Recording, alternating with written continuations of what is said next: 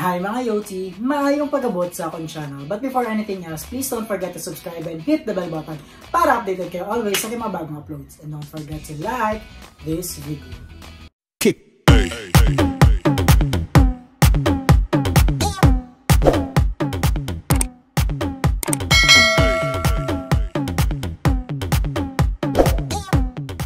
For today's video mga Yuti, magmumukbang tayo.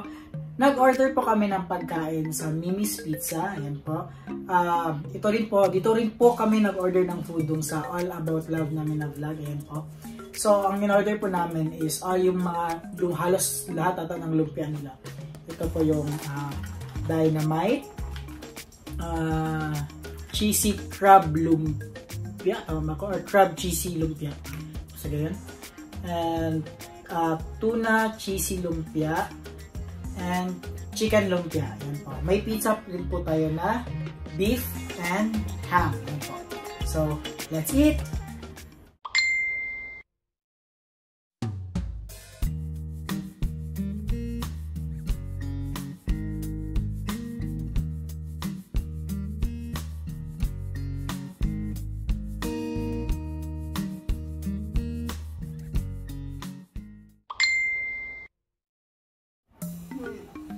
Ito tayo ka po muna ang dynamite.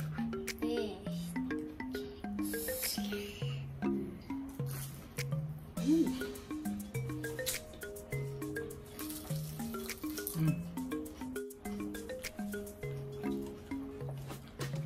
Ano yun? Yung crab, ito yung crab? Or tuna ata ito. Not sure. Tuna or either tuna or ito yung tuna. Or ito yung crab. Basta? So, try ko na lang.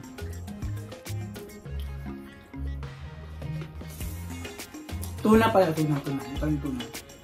Mm, sarap. Ito ang crab.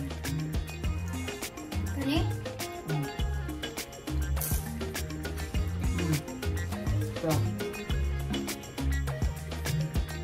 May sweet and sour sila na sauce at saka ito ay pinaghalo ko na cheese powder and mayonnaise with hot sauce. Yan, pinaghalo ko lang po. Chicken lumpia.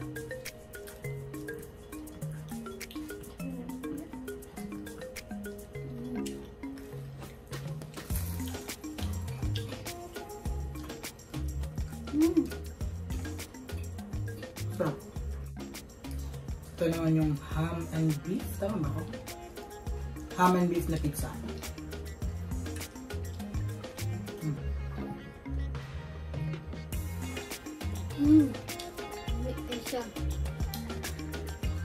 Chicken yung lumpia. Try siya. Kanya ako lang may ano. Sabi nila. Tuna. Masarap itong crab na ano, crab cheesy lumpia. Yun ata yung pangalan. Hindi ko alam.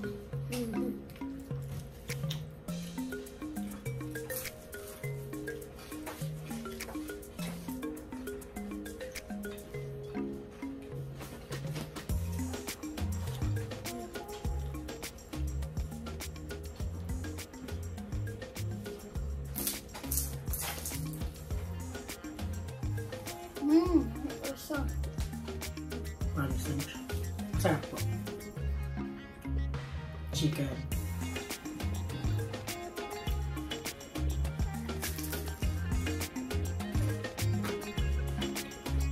Ah, yung crab.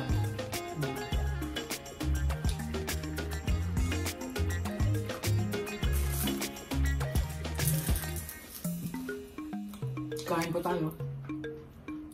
Ito favorite ko talaga. Ang dynamite kasi maanghang. Kasi masarap talaga siya. Ang ham and beef pizza nila is nasa 180 pesos lang. Tapos itong dynamite na 10 pieces po. Nasa 90 pesos lang po. Itong ah, ah, crab cheese lumpia is ito? nasa 100 pesos, mga 12 pieces. 12 ito. O 12 pieces po. Chicken lumpia is 90 pesos po, nasa 12 pieces po. Itong ano nila, ah, tuna cheesy lumpia, 90 pesos, nasa 12 pieces din po. So, yan. Sumura lang siya, di ba? Sulit. Ito lahat is na around 550. Yan. Nasa, ito lahat is nasa 550 pesos po. Sulit. Sulit po masyado, promise. Ang sulit. And sa mga gusto pong mag-order, nasa Food Panda po sila. Ah, Davao Peeps po ha, Davao Peeps only. Nasa Food Panda po sila. Search nyo na po ang Minis Pizza. Yan po.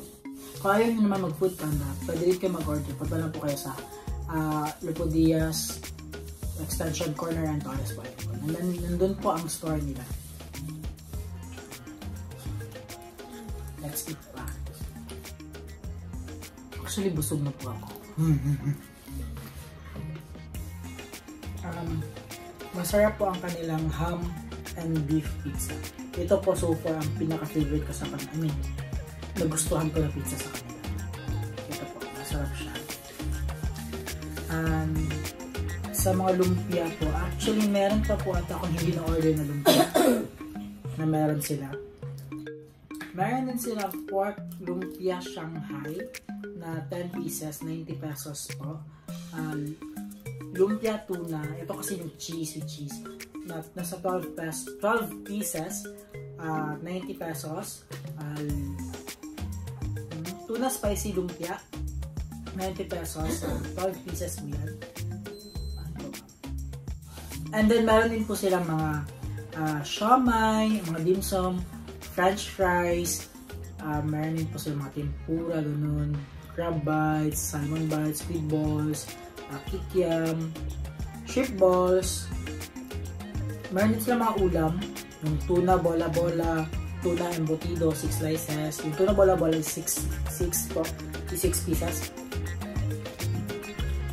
Ang pizza nila is, meron silang Hawaiian, ham and cheese. Yan po.